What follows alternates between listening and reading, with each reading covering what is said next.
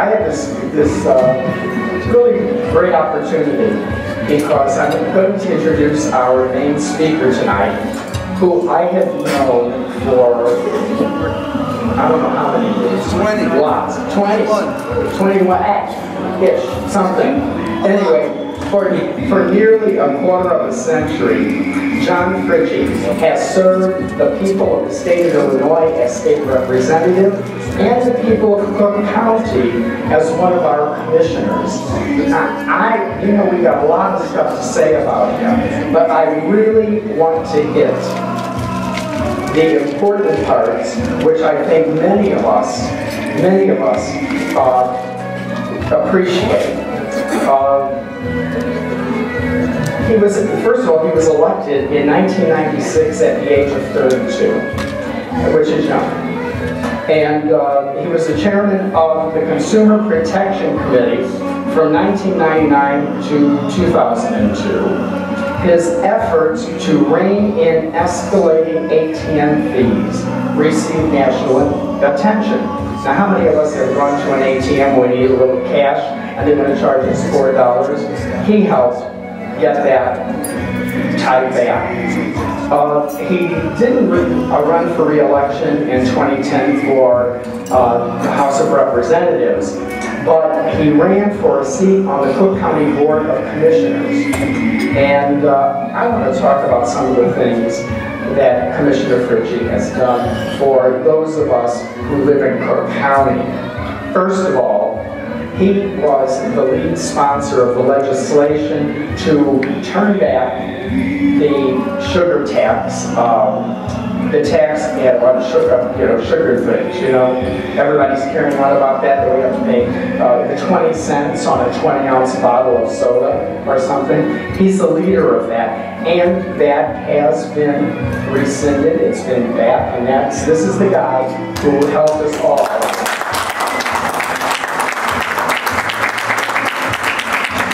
He also did a property tax and sales tax freezes in uh, 20,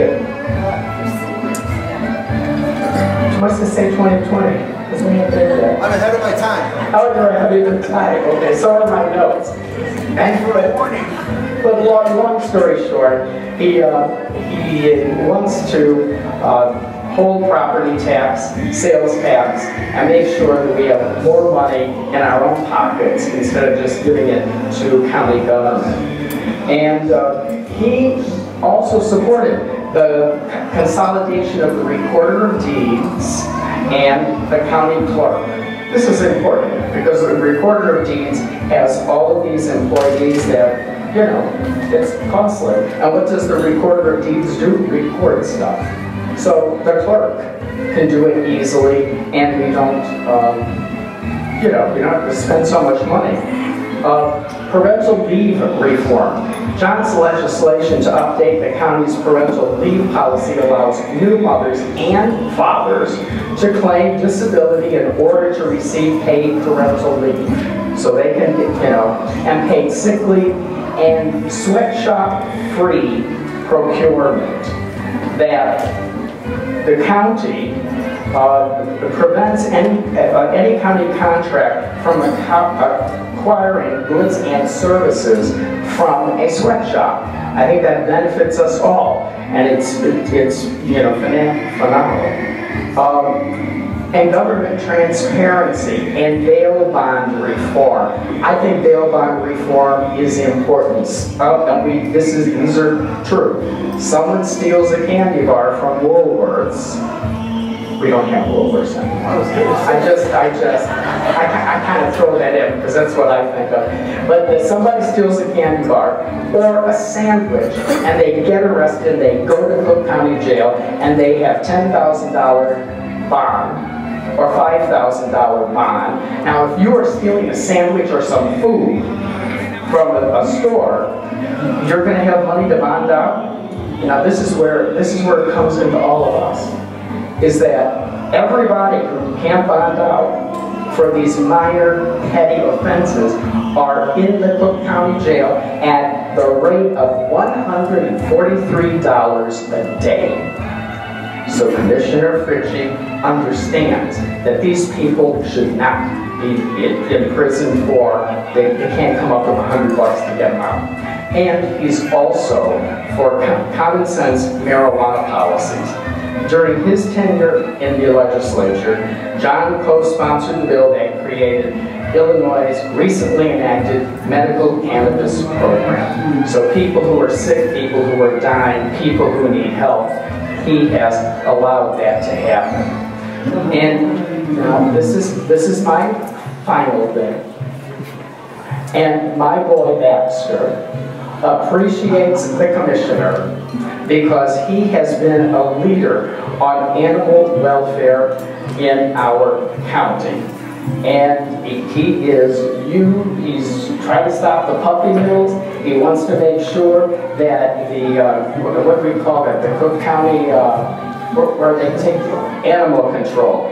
Cook County Animal Control treats those animals with dignity and respect. So from my point of view, he not only should get the St. well, he has had the St. Uh, Joseph Award, he needs to have the St. Francis Award.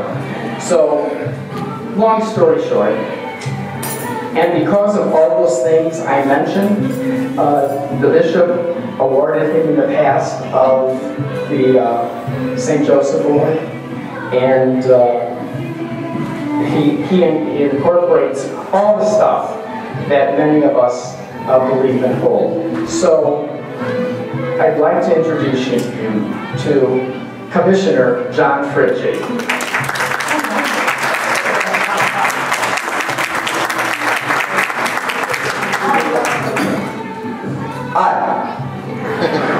Okay, so here's the good news is I'm not going to give a political speech. Uh, Bad news is, I think, uh, it's more interesting than anything else. Um, I don't write speeches in advance. I don't plan my comments because I think you just want to get a sense of why people are here. Um, and I try to give a sense a little bit of who I am and my thoughts on various issues. Uh, as Rick said, I've known Rick for 20 some odd years. Uh, we worked on legislation. Uh, we actually Georgia Hospital 101 at the time, which was really to provide human rights and human dignity to homosexual individuals who live here. I served with a state rep named Larry McKeon. He was the first openly gay state representative. But at that time, he could have been denied a hotel room in Springfield, a bank account in Springfield, and we tried to pass legislation, and we couldn't do it. And it was a shocking time. And look, I believe this crowd is a loving, religious, open, welcoming crowd. And so you see the progress that we've made. So when Rick talks about the things that I've worked on, I don't care whether it's consumer protection, I don't care whether, when I say I don't care, whether it's consumer protection, whether it's things like animal welfare, whether it's things like making sure that people can stay in their home because of taxes. There's a common thing. The common thing is trying to look out for all of us. Because all of us have a commonality on some level. There is something that you care about. There is something that is dear to you that is going to be common with everybody in this room somehow. And you need to step back and think about this. We live not in unprecedented times. We live in times that this world has seen before. We actually live in very hateful, divided time right now. Uh, it's not my intention to get into a diatribe about what's going on in Washington, D.C. But what's going on in Washington is a reflection of what you're seeing throughout the country. Hate is being emboldened. Bigotry is being emboldened. People feel that it's okay now for them to be open about these hostile feelings. Now is the time that we need to realize what's important to us. What do we care about? What do we care about? We care about our family. We care about ourselves. We care about our neighborhood. We want to make sure we have safe schools. We want to make sure that there's compassion for people. When Rick was talking about uh, bail bond reform. This isn't, you know, some people will say, well, you're trying to protect criminals. No, no, no. We're trying to have common sense justice reform. So we've taken the average daily population in Cook County Jail since I've been there from about 10,000 people a day to about 7,000 people a day. And what's interesting is the cost right now to house somebody in Cook County Jail is $150 a day. And the example he gave you really wasn't that far off base. I've sat in bond court. I've watched an old man who stole six bars of soap get held in jail because they said bond of $2,000. He had to post 200. Do you think he would have two, he'd be stealing soap if he had $200 to spend? Of course not. Bond was supposed to be, are you a risk to society? Is there a chance you're going to go out and hurt somebody? Are you a flight risk? Are you going to leave and we're never going to find you? It wasn't supposed to be a test of are you rich or are you poor? I'll give you a quick fact on the jail. That wasn't the main thrust of this.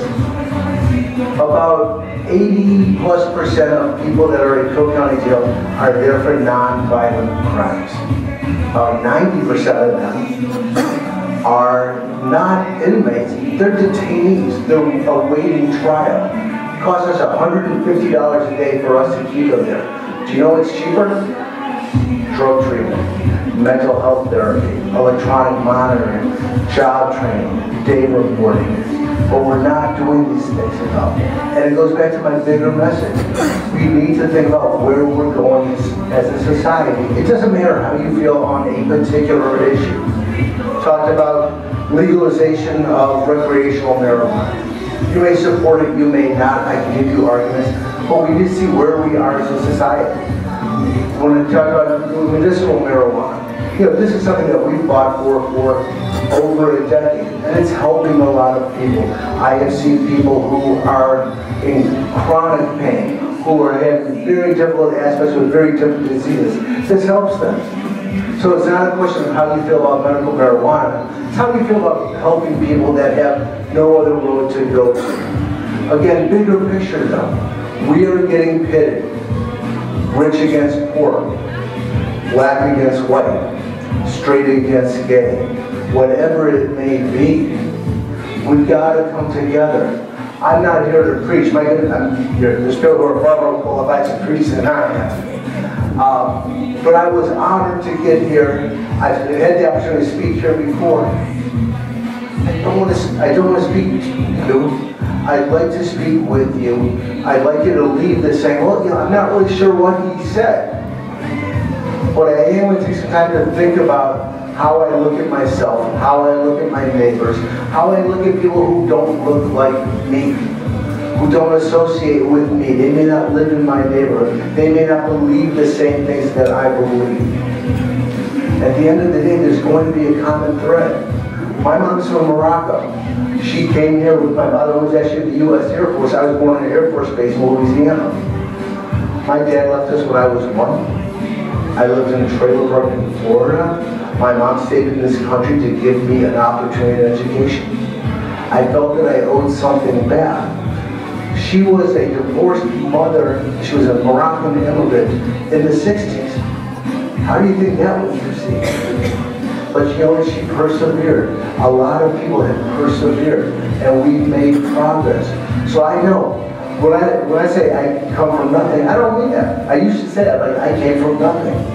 I didn't come from nothing. I came from humble roots with somebody who was going to give me an opportunity. I went through school on hardship scholarship. I wasn't ashamed of that. I was blessed to have that. I had a good education. I went to a good school for undergrad. I went to a good law school. And I owed something back. I owed something back. And I went beyond owing something back and said, you know what, I've got a platform now. I can do things and people will listen. I can do things and I can help people. I can change people's lives. I can make them think about their lives. But here, if I was in Cook County Commissioner, let's be candid, the last time I did this, I was state representative. If I was some guy just off the street, I wouldn't be here. I have the opportunity to be here and share with you and make you think to say, what do we want for ourselves? For yourself personally, what do you want for your family? What do you want for your society, for your city, your county, your country? Where are we going? We are at a very scary time, in my opinion. When you look at these funding issues at the state level, it's pointing questions such as, Do we make sure that seniors can get access to meals in their home? Or do we give tax breaks to people that don't know how to spend their money already because they have so much of it? I don't know where you fit in that picture, but you know what? Everybody fits somewhere on the spectrum. We are in a situation now where you are seeing mosques being attacked because of ignorance and hatred and bigotry that's being spurred from the highest levels of government. You have to decide now, where do you want to live? I have a daughter. Um, the people that know me know, my daughter's the most important thing in the world to. She's 21. I've watched her grow up. She needs everything to me. I worry about you as 20, at 21 as I did when she was two. What kind of society is she going to grow up in? We are in dangerous times internationally for where we are as a country and for how we accept each other. You are all here for a reason. You didn't stumble into this room by accident. You're here because there's some shared beliefs, the respect for other people here. And that, that's what brings you together. So I don't want to ramble on, I truly don't. But I really do, it's this. Whether you listen to what I say, whether, I actually said, speaking of substance, when you leave, at some point, while you're sitting here on the drive home, when you're laying in bed getting ready to go to sleep, how do you feel about the world? What can you do to change your little circle? How you feel about yourself, how you take care of yourself, your family. What do you do with your coworkers? You know, are you helping us come together? Are you doing things to ignore people? You know, there's a very common saying that you know, every maybe that's a hint uh, you know, that every person you see has their own struggles, and they do have their own struggles. I've had my own struggles, and they're difficult, because when I have struggles, a lot of times, they become public. But behind closed doors, when you're by yourself, you have struggles, you have issues that you're thinking about. So think about this. Think about what you can do. Think about, more importantly, other people and what they may be facing. Can you help them? Little things. I, you know, I compliment people a lot. My girlfriend will tell me, she you know, you compliment almost everybody you see. Because you know what? It's a little thing like that that can make somebody's day. You can do such small things to make a difference. And these small things add up. You know, you look at the group of people here, we have a diverse group, there's a diverse group of friends that work with a diverse group of people. Think about that. This is what society is at the end of the day. We have an opportunity. I'm honored, truly. I'm. How honored am I? It's probably the second time I've been in Elmhurst. I don't know if I would have come out here but for this. Um, no, but seriously, I'm honored to have the opportunity to do this and just say, people, please, love yourselves. Understand that you're going to have struggles. Some days are going to be harder than others. But we have these struggles. There are people there for you. My dad committed suicide three years ago.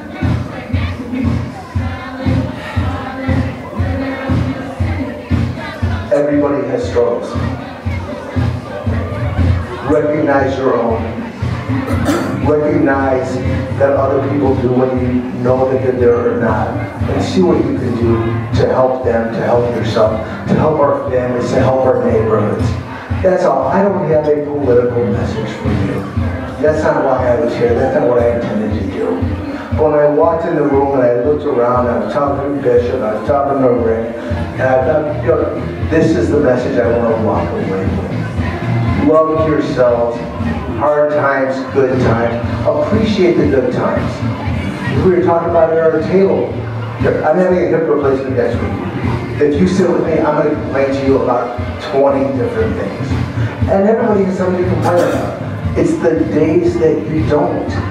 Step back and recognize that. Some of you know that you're sitting at lunch and saying, you know what? I'm having a good day. I'm healthy, the people I love are happy, things are going well. We don't step back to appreciate those things. Do that. It'll make a big difference to all of you. So I'm done. I know I'm going to repeat myself. It really is an important and a heartfelt message. I'm privileged to be here. I'm happy you all took time out of your lives come out and do this. These are the types of things, they add up and they make a difference in our society. God bless all of you. I wish you nothing but the best.